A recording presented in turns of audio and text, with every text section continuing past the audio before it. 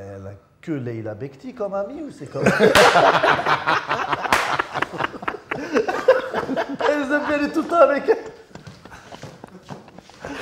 Qu'en fait, Leïla et moi, depuis, il y, a- eu tout ce qui brille, donc c'est il y a- dix ans aujourd'hui que, le film est sorti, et ça a été euh, la révélation de, notre amitié euh, au cinéma. Et puis après, les gens ont, compris que c'était une réalité, parce que tout ce qui brille, le moment où j'écris tout ce qui brille, c'est six ans avant euh, la sortie du film, et il s'avère que je propose le film à Leïla, et que finalement le film se fait pas comme la moitié des premiers films qui sont toujours difficiles à monter, et qu'elle devient une, petite sœur.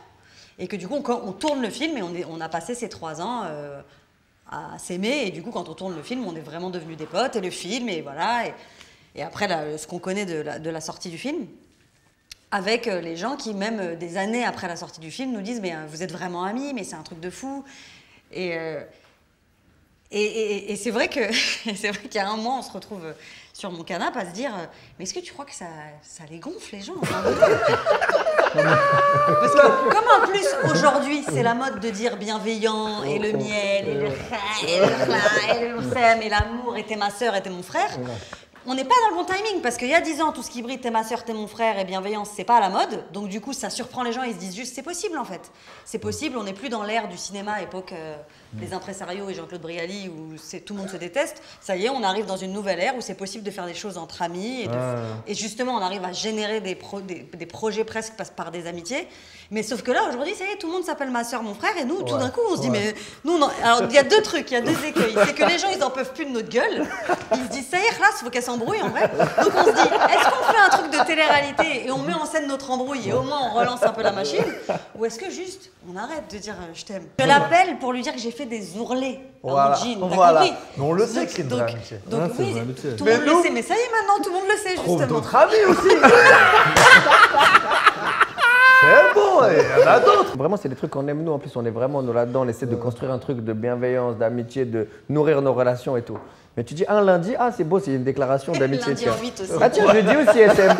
ah SM aussi mardi prochain. La synchronicité, elle est magnifique parce que vraiment, on s'est dit, mais tu crois pas qu'à un moment donné, les gens, viens, peut-être on crée une, une embrouille en vrai parce que c'est, c'est trop, c'est, c'est trop. c'est- Bah, alors mais les gens ont du mal avec, avec le bonheur, je crois. Est-ce que les gens, ils ont du mal avec le bonheur ou ils ont du mal avec le fait que ce soit encéphalogramme plat Ouais, c'est ça, il faut qu'il se passe des trucs, C'est pour ça. Faut, Non, mais nous, des le truc, c'est plus. Il n'y a que elle, en fait. Ah, tu veux revenir plus- sur le sujet. Ma Non, vie, elle mais est très ennuyeuse. J'ai sur mon canapé souvent les mêmes personnes. Il s'avère que, il s'avère que Leïla, en plus, elle est médiatisée et tout. Mais c'est c'est la- c'est tellement vrai. C'est tellement vrai. J'ai Ouais, pas beaucoup d'autres amis. J'en ai peu. J'ai les mêmes depuis 100 ans. Leïla, elle est venue se greffer là il y a, il y a 10 piges, tu vois. Du coup, elle est devenue une que j'ose mettre sur les réseaux sociaux parce que les autres, je vais pas leur casser Ah la oui. tête. Ah oui. Et euh, mais je vais y penser. Tu reçois combien de Nous, messages kiffe, en vrai. pour te dire comment elle va, Leïla J'ai reçu beaucoup de. Alors, il y a un truc qui est encore mieux, c'est mon frère qui est donc euh, réalisateur, euh, qui s'appelle Olivier, Café intouchable. qui a fait Intouchable exactement, qui donc euh, est, est peu médiatisé, mais il fait de la promo pour ses films et euh, il a fait une, je sais plus quelle radio, donc je vais pas dire de bêtises, mais une radio, euh, en tout cas c'était pas radio euh, des grenouilles à, à Quimper, tu vois, c'était une vraie Radio-. La radio des grenouilles. à Non, je sais pas, mais il a fait une radio. Et, on- et donc, il y a pas un- Radio un- Croix Il y a un mec qui fait un, qui un mec qui fait un portrait de mon frère. euh, Radio Croix Croix. Ah, quoi Euh, le- le- le- le- le- le- des T'as compris Radio Croix, ça Le cri de la grenouille. grenouille. Le cri de la grenouille. Tu dis Oh le cri. Ouais. On dit le cri, là Le croix. Le croissant. Le croissant. Ouais, non, mais il fait une radio, ils font un portrait de mon frère, Eric Toledano, Olivier Nakache, bah, ils ont quand même euh, de quoi faire des portraits. bah, bah. Et puis, il y a un, espèce de, truc hyper sérieux, radio quoi, hyper sérieux, et vous machin, vous grandissez là, et votre sœur, Leïla Nakache, Oh, Ah, c'est beau. mon frère n'a jamais désamorcé, il s'est dit non, c'est- c'est trop beau, je laisse.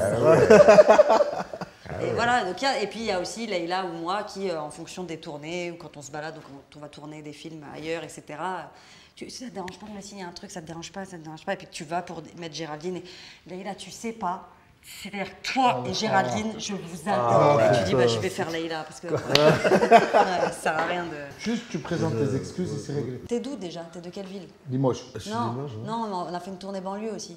Ah, je suis à Romainville. Voilà, bon, je, il s'avère que je demande à mes acteurs pour la tournée, euh, la tournée des avant-premières, souvent de venir nous accompagner pour qu'on vende le film, tu vois. euh, C'est toujours chouette et les, les Oui, gens sont toujours super, hyper contents. de- Ouais, c'est super. Et du coup, et du coup donc Ça, sur le tournage. Jimo parfait, il est là, à l'heure, on time, il est stressé, je le savais pas. Excuse-moi de ne pas l'avoir euh, senti, mais c'était Non, mais tellement y a pas de problème. Non, mais bien pas si de problème. sens pas. Par contre, c'est maintenant que tu vas t'expliquer. et, Il du coup, tourner, tourner, euh, tourner des salles d'avant-première, etc. Et puis à un moment donné, je, je- je- je me dis, c'est cool d'ouvrir un peu, qu'il n'y ait pas que Leïla et moi, encore une fois, parce que ça y est, on leur a cassé la tête aux gens, font un peu de sang neuf. Et donc, quand c'est en Paris, banlieue, les gens, ça- c'est plus facile pour eux quand ils travaillent et tout de venir. Je- donc je dis à Jimo, ça me ferait plaisir que tu viennes à une date. Et il me dit, bah écoute, moi je suis de Romainville et tout. Je dis, vas-y, regarde, j'ai une salle, c'est chez- en bas de chez toi la salle. Waouh, merci, super et tout. Je lui donne deux, trois rendez-vous de date. Écoutez-moi bien, je l'attends encore aujourd'hui à l'avant-première. Ah, mais nous on le Ah, mais je découvre. Je l'attends encore. Je découvre. Je me dis, le mec, je vais chez lui. Il y a la moitié, de- dans la salle, c'est la moitié de, sa- de ses potes. Sa famille. C'est que ses invitations, machin et tout. Je me dis, il est chez lui, il va venir parler à ses potes. Je sais pas, je sais pas, il est en Mais plus. j'étais C'est pas arrivé stressé. Tu sais encore. ce qu'il t'a fait J'étais stressé. J'étais stressée, tu sais ce qu'il t'a fait comme coup? Ça s'appelle une chiche.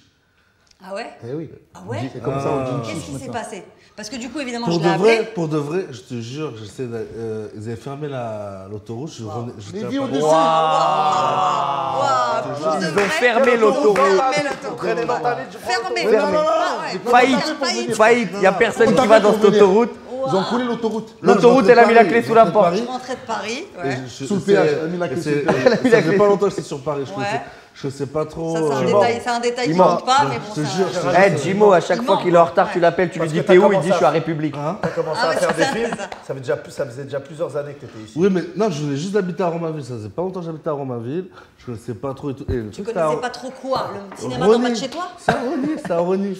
C'était à C'était à Rony. Rony, exactement. C'est pas en juste bas de chez à moi. côté. C'est pas en bas de C'est à chez toi, mais tu m'as dit, je connais bien, je connais merci, machin et génial, je peux inviter des gens, génial, J'ai la invité fête. des gens. Ouais. Donc, euh, je- Que tu n'as pas vu, que tu n'as toujours pas vu, tu Qui l'a pas vu? Juste, tu présentes tes excuses et c'est réglé. Je suis désolé. Et Voilà. euh, Et attends, et donc je me dis quand même, il y a des gens qui sont là pour lui dans la salle et tout, je vais l'appeler.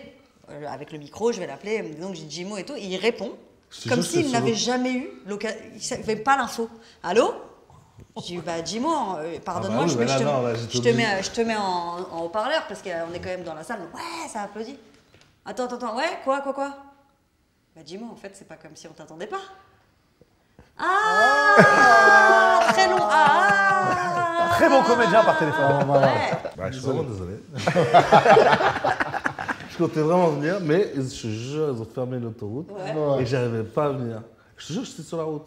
J'ai une application, il ment. ouais, Mais tu- t'avais même Et pas en, de fait, et en fait, le truc, c'est que j'avais pas de GPS. voiture. Et le GPS, il me faisait tourner pour... parce qu'il me disait que, que j'étais que Géraldine n'était pas là. que le truc, que l'autoroute était fermée et il me disait tout le temps de faire le même tour. Ah ouais, tu t'en souviens Donc, bien. euh, ouais. Voilà. Parce que je me rappelle, c'est l'autre aussi, il m'avait appelé Adama. Ouais, il t'avait appelé. Il m'avait appelé aussi, je lui ai dit, j'arrive pas à faire un rôle. Et lui, il croyait que c'était un mytho. Ouais. Ce qui est bizarre, parce que t'as pas l'habitude de faire ça. Il a pas Non, non, de je te jure, je te jure. Je dis, Moi, Jimo, j'ai rendez-vous avec lui à midi, il arrive à 20h, normal. C'est pas. Oui, y a pas de- Vraiment, ouais. c'est- on n'est plus dans le retard. Oui, c'est lui, ça. il, il peut venir deux jours après, Bon, tranquille. j'ai vraiment pas de- j'ai personne de mon côté aujourd'hui. Je suis désolée. En tout cas, je me suis permise ici, parce que Y a putain, aucun on est entre amis et puis on est. Mais c'est très, dur, très dur de s'énerver contre Jimo. Et peut puis, pas euh, s'énerver, c'est bah, malade quoi En plus, je viens d'avoir une rupture. tu peux Ah ça, elle ressent le truc de la rupture. Je suis encore fragile. Là.